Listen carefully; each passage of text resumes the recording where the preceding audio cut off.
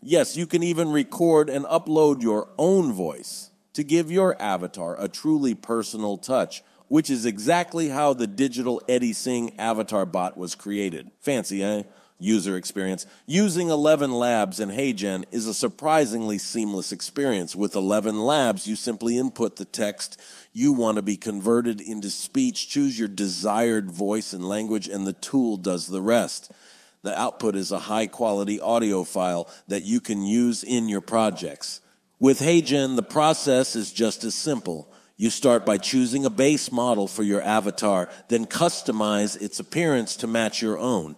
You can choose from a range of hairstyles, skin tones, and facial features to create a look that's uniquely you.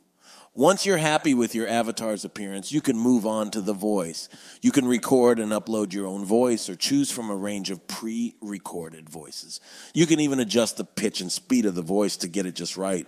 Finally, you can use HeyGen's animation tools to bring your avatar to life. You can make your avatar move and interact with its environment in a realistic way, creating engaging and immersive experiences for your audience. Business applications.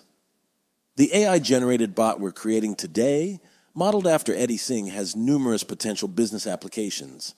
For instance, it can be used for customer service, providing 24 7 support to customers and answering their queries in a timely manner.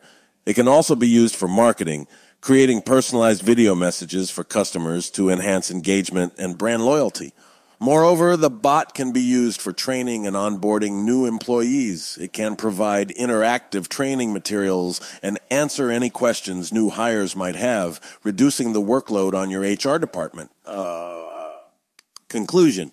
In summary, ElevenLabs and HeyGen are powerful tools for anyone looking to leverage AI in their content creation or business operations.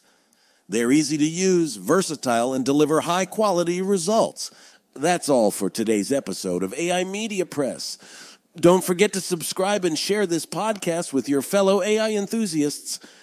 And remember, in the words of Eddie Sing, let's stay human in this digital world. Until next time.